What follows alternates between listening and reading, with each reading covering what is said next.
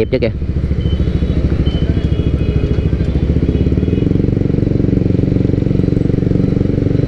Mấy chỗ này à, mua thì ít mà chụp hình thì nhiều.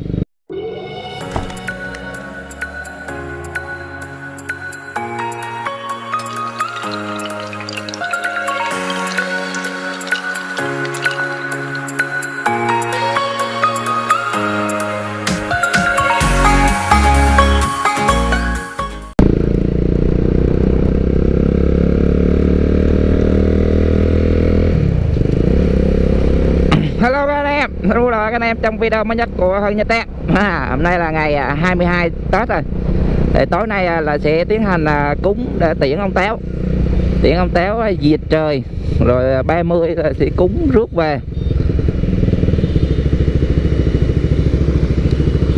Hôm nay không khí Tết nó cũng đã rộn ràng rồi. Hoa lá cành rồi nó cũng bày nó bán tùm lum rồi.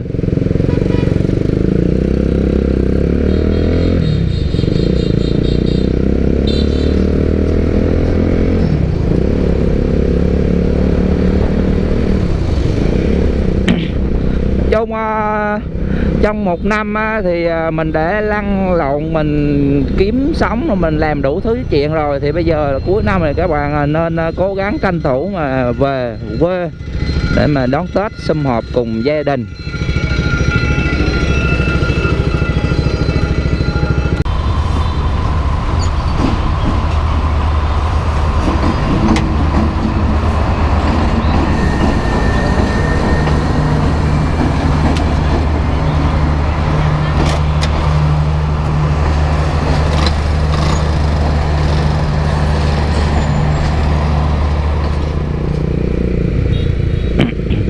ở Nha Trang mà có điều kiện đi quay buổi sáng là đẹp rồi. Quay buổi tối là không, nó không có thấy. Còn tối vô là thấy đèn là thôi chứ còn cảnh quan là cũng không có thấy được.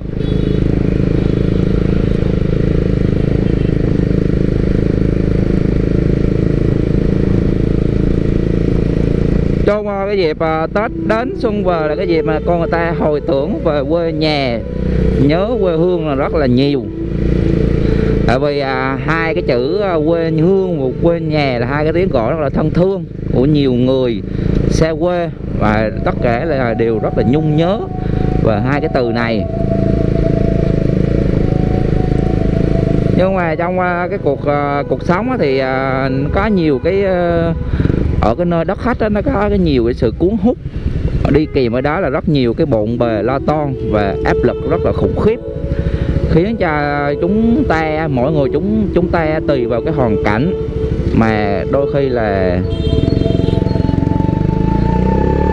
đôi khi là cảm thấy là quên. À, hoặc là ngó lơ là không thèm về. Hoặc là cảm thấy mặc cảm tự ti. À, về cuộc sống nơi đất khách của mình mà mình không có dám về. Hoặc là mình không có đủ điều kiện để về cho nên là những nguyên nhân đó mà khiến cho những cái dịp Tết đến, xung về thì có nhiều ờ, người là không có về quê đón Tết mà chấp nhận ở lại nơi đất khách để mà đón Tết.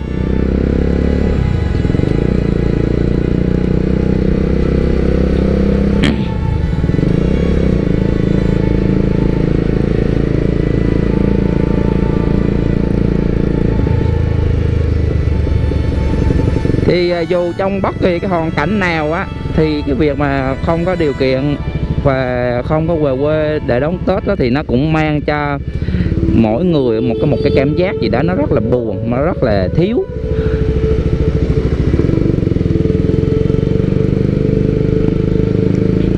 Và cũng mang lại cho những cái gì mà ở quê nhà một cảm giác rất là nhung nhớ, ngóng trông.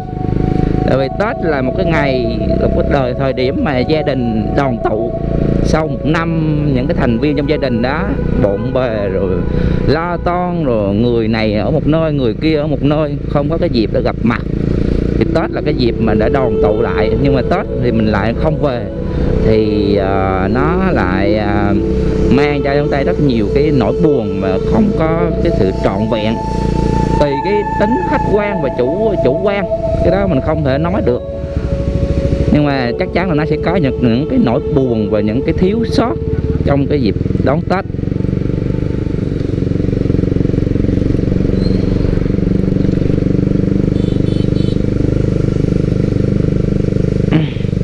Cái dịp à, Tết đến xuân về mà thấy người ta bưng hô ra ta bán á, lúc nào cũng thấy trong lòng rất là rộn ràng. À, tại vì cái hồi xưa cái thời còn đi học á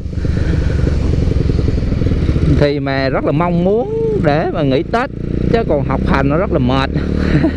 Nên mà khi mà hồi xưa mà thấy người ta bưng ho ra là biết là à sắp Tết là sắp được nghỉ học rồi á.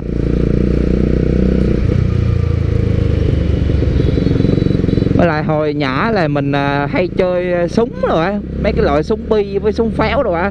Wow, mấy cái hồi hồi nhỏ xíu thì chơi súng pháo một bắn một bum bum bum bum bum mới vui.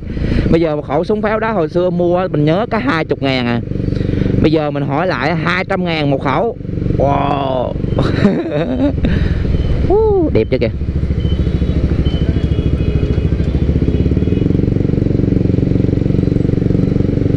Mấy chỗ này à, mua thì ít mà chụp hình thì nhiều.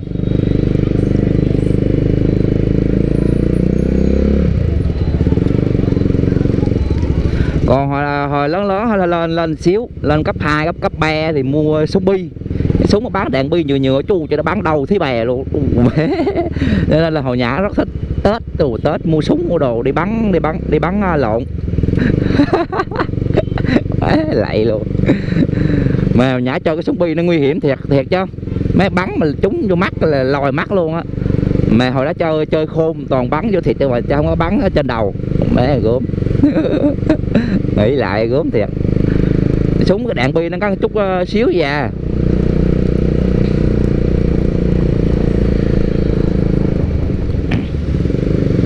cho nên ờ, cái tết là một cái gì đó nó rất là thiêng liêng.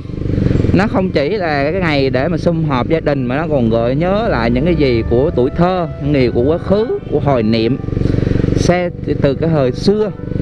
À, đấy cho nên là chung là từ trừ những cái trường hợp mà nó khách quan quá đi ví dụ như là à, à, cưới cưới vợ nè cưới cưới cưới vợ nè rồi à, à, cưới vợ cưới cưới chồng thì thường thường là Tết là hay về một phía thôi chứ không thể nào về hai phía được tại vì nếu mà ở xe như mình đây thì không thể về được.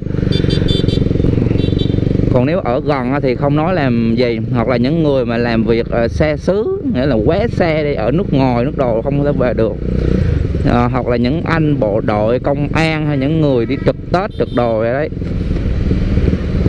Thì à, không thể thể về thì tất nhiên là những cái tết như vậy của những gia đình như thế thì nó cũng chung nó cũng sẽ buồn. Nhưng mà nhìn chung thì cái đó là cái trách nhiệm và cái nghĩa vụ.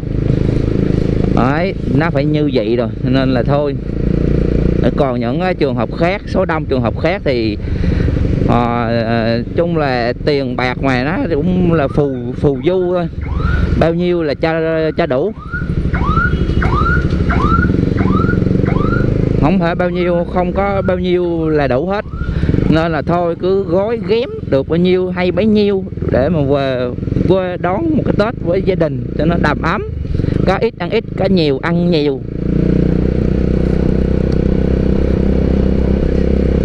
Chứ mình thấy xem trên báo đài thấy có nhiều trường người người ta vào Sài Gòn rồi những cái nơi khác người ta lập nghiệp mà mấy năm trời để con để ba mẹ ở ở nhà mà lăn lộn trong Sài Gòn để mà ăn Tết ăn, ăn đồ không có về quê. Thì thấy rất là à, buồn rất rất là tội.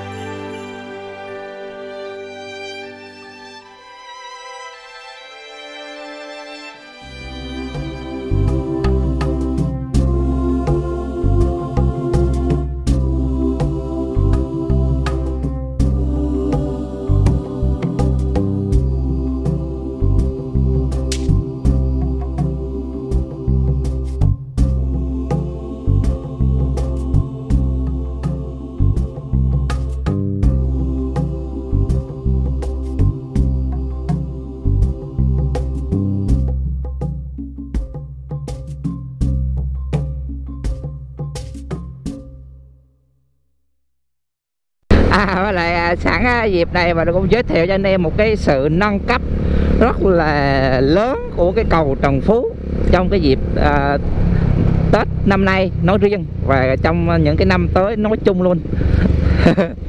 Thì nếu mình sẽ chơi cho mấy anh em xem hơi bị thú vị ấy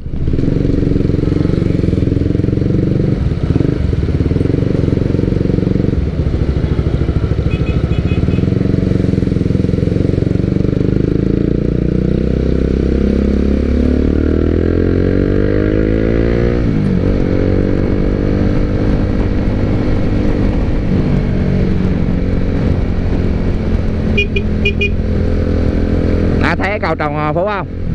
Bây giờ là họ làm những cái tha, cái thanh trắng như vậy nè theo cái hình à, là lượng sóng cốt cách đó là cũng đã trang trí cho cái cầu. Và sâu xe hơn đó là dẹp tải bớt cái tình trạng mà nó nhảy cầu nó tự tử. À, đó thì bây giờ họ làm những cái rào trắng như vậy nè. Buổi tối thì nó sẽ bật đèn rất là đẹp nhưng mà đang trong giai đoạn à, thi công hay thi đồ cho nên là nó chưa có bật đèn đâu đợi một thời gian nữa, nó bật đèn lên là sẽ rất là đẹp á. Những người thợ người ta đang thi công nè, đang chăn chăn đèn nè. Nó vừa đẹp, nó vừa đẹp, trang trí cho cầu và cũng vừa là để ngăn cái việc là nhảy cầu đi quá. Năm nào nó cũng nhảy hết tết tết nhất mà nó cũng nhảy nữa mà. Lạy luôn.